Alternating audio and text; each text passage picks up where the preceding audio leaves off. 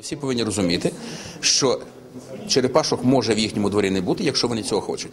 Звернення з підписами до міської влади, що ви проти черепашок у вашому дворі, і їх не буде.